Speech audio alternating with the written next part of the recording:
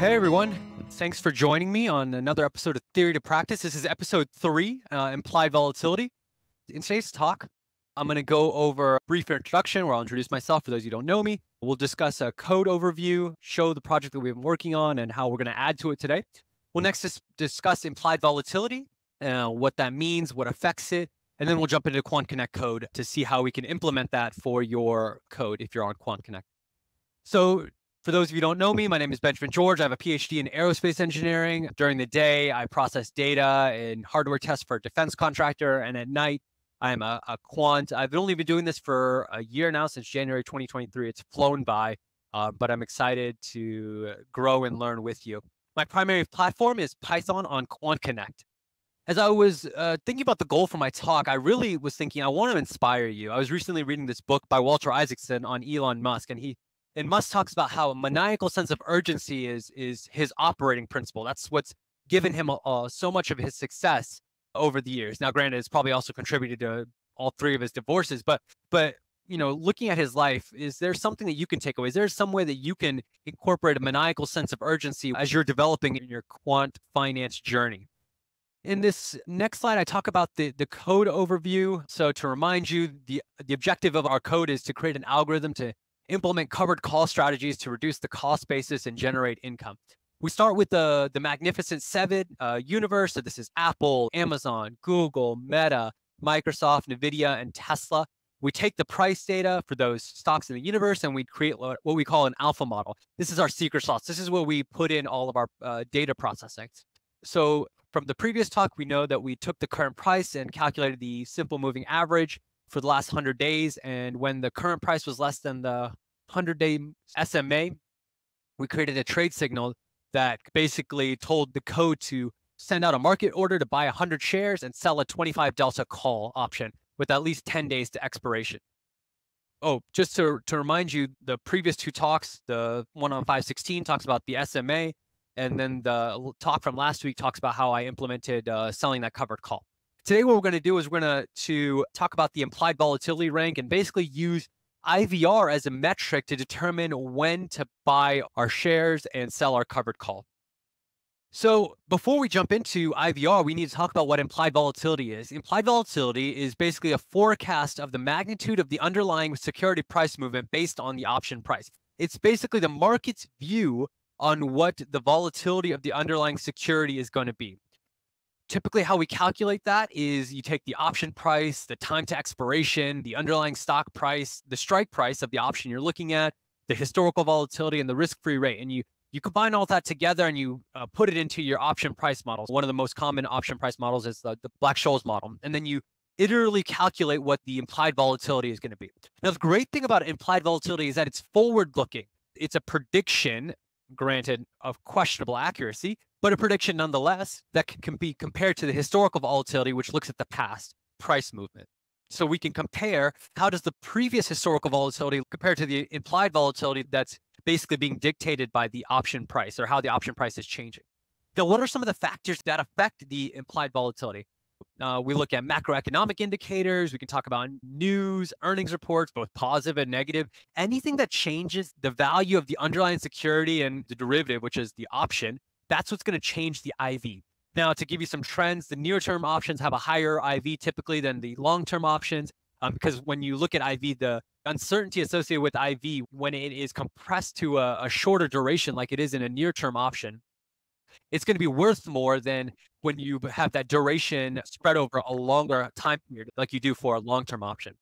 One of the things that we look at is we want to compare the implied volatility to the uh, historical volatility to estimate maybe there is some discrepancy between the two. Maybe the implied volatility right now is much higher than the historical volatility. And that, and that may indicate that the, the current option may be overvalued. And that's what we want to do, right? As traders, we want to sell things, securities, and options that are overvalued and buy them back when they become accurately priced. So this strategy is looking to sell a call when it's at its most profitable, aka when IV is high.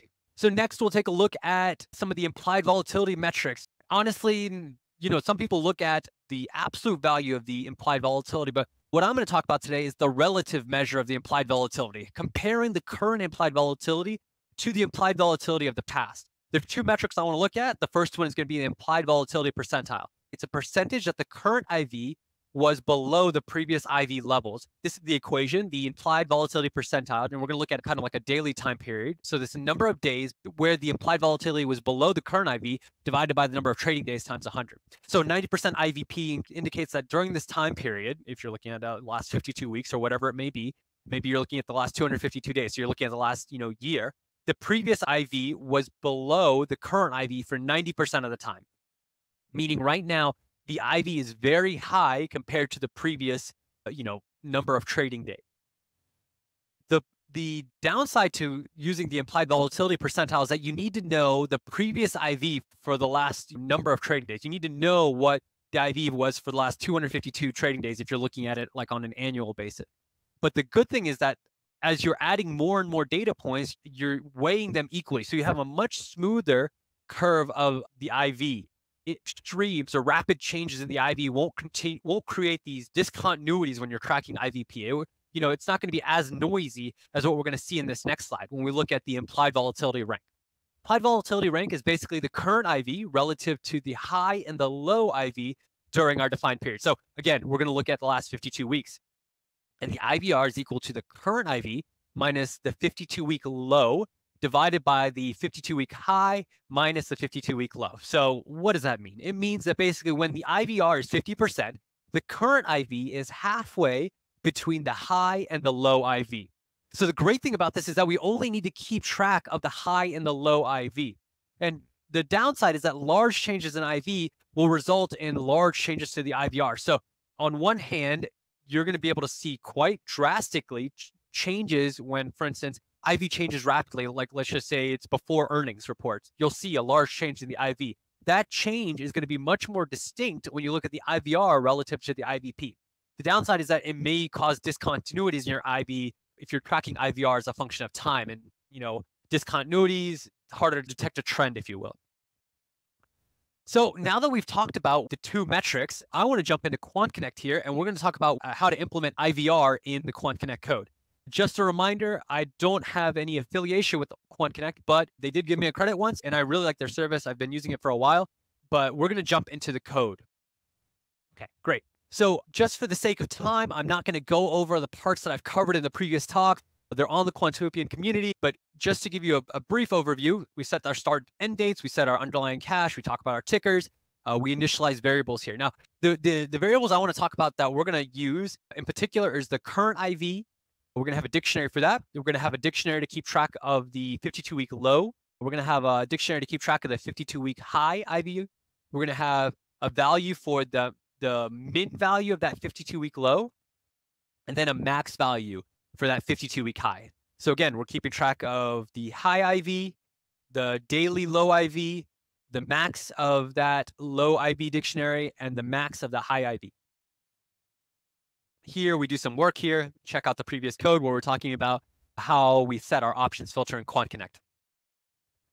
Here, I'm basically initializing these dictionaries. The key is going to be the ticker, and then the value for my dictionary is basically going to be the high IV and the low IV as a list. So what would I expect for this 52 week low if I was tracking for the last 252 days? I would expect this to be around 252 in length.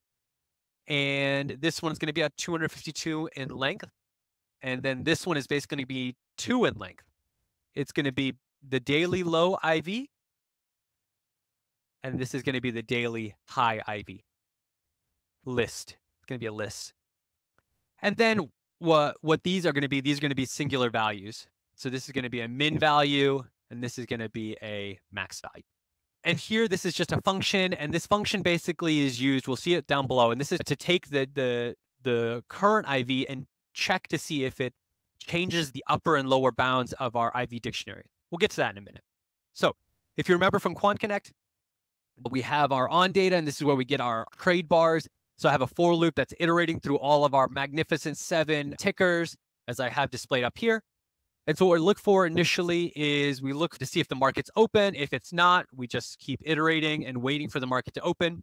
Then we check to see if we can get a trade bar based on the ticker. So for instance, if we're looking at Google, this ticker would be GOOG. Then we would look at get the option chain for Google, Goog. And then if that option change none, we just keep iterating through. what we're doing here with this sorted is I'm looking for the at the money contract. So so what this is looking for is the at the money contract. And what I'm going to assume, at least in my code, is that the option expiring, that's basically the option that is at the money and with the closest expiration is going to be the most accurately priced. And if it's the most accurately priced, then I'm going to get the most accurate measure of the implied volatility. Now, whether that's true or false, there needs to be some research done on that, but that's going to be my assumption for this. So here, basically, I'm trying to see, to trying to find the option where the underlying price is closest to the strike price of the option, trying to sort by the expiration date. Uh, you can sort here by the call or the put. So here I'm checking to make sure that I haven't sorted out all the contracts. If I have, then I'll keep returning. If I haven't, then I'll basically get the first option in that contract list, which should be the at the money option with the nearest expiration based on my sorting if my current IV dictionary is empty for that ticker, so maybe it's the first trade bar or the first options chain, I want to fill it up first. So basically I'll use the current IV and then use that as the first two values, both the min and the max value for my current IV dictionary. If it's not, so let's just say it's been a new trade bar, what I'll get is I'll get the current IV low, I'll get the current IV high. So maybe it's like midday and I have a low and a high daily IV value that I've kept track of throughout the day. And what I'll say is, is the current value less than the lowest value in my list? If it is, replace the lowest value with this new lower value. And then I'll check to see if the current IV is greater than the, the high value. If it is, replace my upper bound with this current IV. So what I'm doing is I'm trying to figure out as you know this data is, is coming by minute by minute or second by second, whatever it may be, I'm trying to keep track of the, the high IV for the day and the low IV for the day. And then here, I'm basically just calculating the IVR. I'm making sure that I actually have a value for the min and max of the IV, and then uh, calculating, this is just the equation that, that I showed in the previous slide. This part over here, I'm not going to go over. You know, we talked about it previously. I'm just going to show that I basically added a new condition to my if statement, checking to see that the IVR is greater than 30. And this is where I basically buy 100 shares, sell a covered call, and then on market close, I basically sell 100 shares and buy back my option. Here, what I'm doing is I'm basically keeping track of the IV for the last 52 weeks. So what I have is if the dictionary value is greater than 52 times 5 or 270 days, or actually I guess I should have put up here, this is uh 270 in length, not 252. So basically, if it has already been 270 days, I'm going to pop off the, the first value, which is going to be the oldest IV value, before I add on or append my new daily high and low. Here, I'm basically just calculating the max and min value of these two dictionaries per the ticker. This last part here is basically just a plotting feature that I added. I wanted to show in the back test how the IV changes at function of time. So basically, I'm just calculating the average of the, the current IV high and the low, getting that value, and then just tracking that as a function of the, the high and low throughout the, the year and plotting it and then I basically reset the current IV dictionary at the end of the day. Because basically, this aftermarket close, based on my function here, uh, basically runs one minute after the Google trading period ends. It runs this function. Okay, let's run into the, the back test. So here, I basically run into the back test. I've run this for about a month. And what you can see here is basically the portfolio returns about negative 0.1. But what I want to show you is we're going to plot the IVR. Click on this. And what we can see here is that Google, as a function of time, you can see that the IVR goes to be about 25. I know it's hard to see with this, but it's basically at this 25 level, and then mm-hmm. increases on January 21st to an average of about 93. So you're seeing the IVR change as a function of time. But this is basically the IVR for the whole day. What I'm keeping track of is the IVR basically minute by minute, because that's what I'm looking at. So here, what I've done is I've basically told it to log when the IVR is greater than 30. So basically at 113,940, the IVR for Microsoft was 33. And so I bought 100 shares and I sold a covered call. And then the next day, IVR for NVIDIA was 39. And so I bought 100 shares, sold a covered call. And you can see that that happened in the order. So I know this is a lot to take in. I really try to give you a lot to look at. I'm going to post this code on the Quant Connect forum where you can just download it and you can actually change some stuff yourself. So I'm going to stop sharing here and actually go back to my slides where I'm going to talk about some of the improvements that I could have made Now, for instance, looking over a month, I'm not necessarily looking at how the historical vol- volatility has changed. In fact, when I'm starting, I, I start at one one. I don't even do a history call for the last, you know, 252 days of implied volatility. So really, what I'm looking at, I'm looking at the implied volatility starting from today, and and basically saying using that as a, a starting point for tracking. So what I'm going to show next time in our talk is how to do a history call. And basically using a history call, I can get the IV for the last 252 days. That way, the first day I'm trading, I'm already incorporated all the IV information from the past, let's just say year. Some other things I'm going to show later on is uh, how to incorporate different options. We'll look at different indicators, we'll talk about it, automated universes, all this good stuff. With that, I want to end my talk and also leave time for questions. So thank you so much for showing up, and I appreciate your time.